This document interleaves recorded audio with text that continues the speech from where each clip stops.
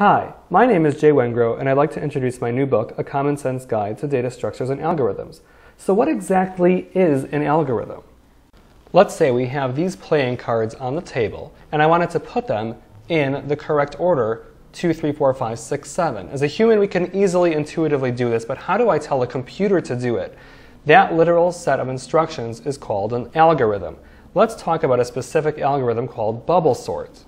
While bubble sort is not an algorithm typically used in production, it serves as a great starter algorithm that serves as a foundation for understanding computer algorithms in general. With bubble sort, we accomplish the sorting through several rounds. Each round is called a pass-through. In each pass-through, we do the following set of instructions. We look at the two numbers all the way at the left end of the cards. So we're going to look at the 5 and the 2. The way it works is that if the two numbers relative to each other are not in the correct order, then we swap them. So here, since we want the 2 to be to the left of the 5 instead of to its right, that means that the 5 and the 2 are out of order, so we swap them.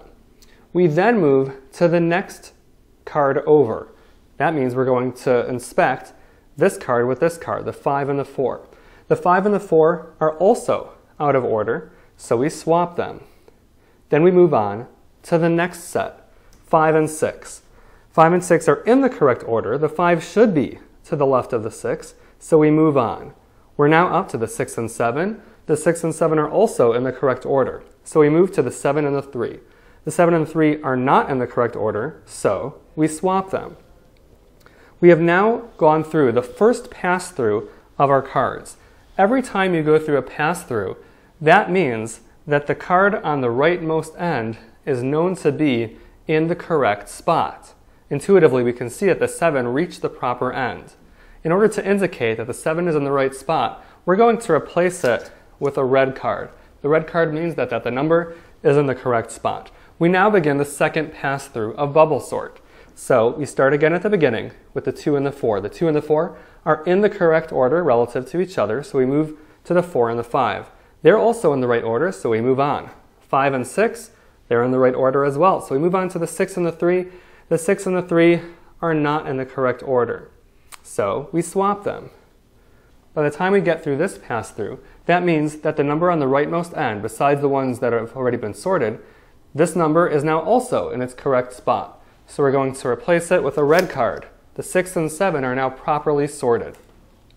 We now begin again. The 2 and the 4 they're in the correct order. The 4 and the 5, also in the correct order. 5 and the 3, they're not in the correct order, so we swap them. Now that we're done with the third pass through, that means that the 5 is in the correct spot, so we're going to make it red. We now begin again. 2 and the 4, in the right order. 4 and the 3, not in the right order, so we swap them. We're done with this pass through because we hit the red cards, so the 4 is now also in the correct order. In the final pass through, we see the 2 and the 3. They're in the correct order, so we do nothing. We're now up to the final pass through. We see the 2 and the 3. They're in the correct order, so there's nothing to swap. So we finish this pass through. That means that the 3 is in the correct order, and since there's only one number left, the 2 also has to be in the correct order. And now our numbers are in the correct order. If you find this stuff interesting and want to know what it can do to make your code faster and more efficient, Check out A Common Sense Guide to Data Structures and Algorithms.